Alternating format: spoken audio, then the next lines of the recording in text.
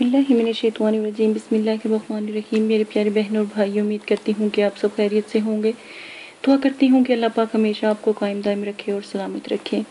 आज जो मैं आपको वजीफ़ा बताने जा रही हूँ, मुझे माफ़ कर दें कि बहुत वक्त लग गया मुझे इन तमाम वज़ाइफ को आप तक पहुँचाने में, क्योंकि अमलियात की तरफ़ हमने कदम रखा और इस चीज़ों की आपको बहुत ज़रूरत थी तो इसके लिए लेट हो गए, इसके लिए माजरत।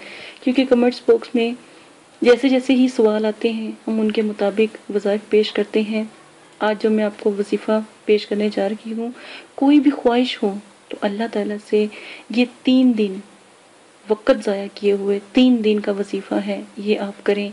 इन कैसी भी ख्वाहिश हो, कोई सी भी ख्वाहिश हो, पूरी हो जाएगी।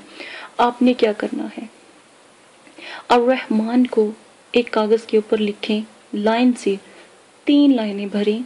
अल रहमान जितनी मर्ज़ी दफ़ा आप लिखे जाएँ आप लिख लें। तो कोशिश करें कम अज़ कम तैतीस मरतबा अल रहमान को लिख लें। अब अल रहमान का जो आपने नक्श तैयार किया है या जो आपने का, कागज़ के ऊपर लिखा है इसके ऊपर ग्यारह मरतबा द्रोशी पढ़ के हरे रंग के कपड़े के अंदर इसको छुपा लें। हरे रंग के कपड़े के अंदर मतलब कि इसको रख के छुपा के, बल्कि इसके ऊपर खुशबू लगाएँ खुशबू लगाएँ, कोई अतर लगाएँ, कोई खुशबू लगाएँ, उसको लगा के हरे रंग के कपड़े में डाल के इसको किसी ऊँची जगह पे रख दें, बस।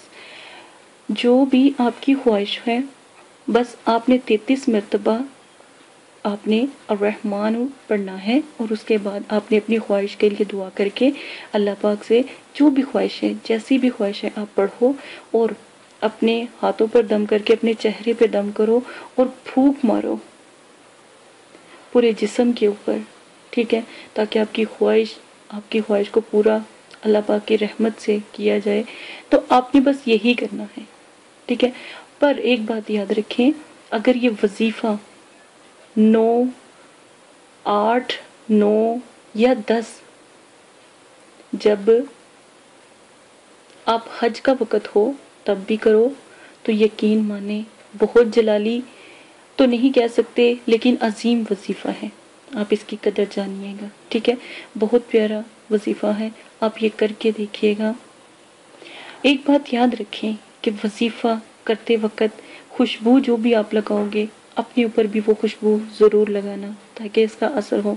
ये वजीफ़ा आप बच्चियों की शादी के वक्त भी कर सकते हो, रिश्ते आने के लिए। अच्छा इसको रखना कहाँ है? जहाँ रास्ता गुजरता हो। रास्ता गुजरता हो, लोग आते जाते हो। तो जब आप बच्ची की शादी के लिए ये वजीफ़ा करो तो रास्ते में रखो ताकि घर में रहमत हो और रिश्ते के लिए लोग आए। ठीक है? और अगर कोई परेशानी है, कोई मुश्किल है, कोई तकलीफ़ है तो फिर इस वजीफे को कहीं पर भी रख सकते हैं। अपनी जेब में भी हरे कपड़े में लपेट के खुशबू लगा के रखना पड़ेगा आपको।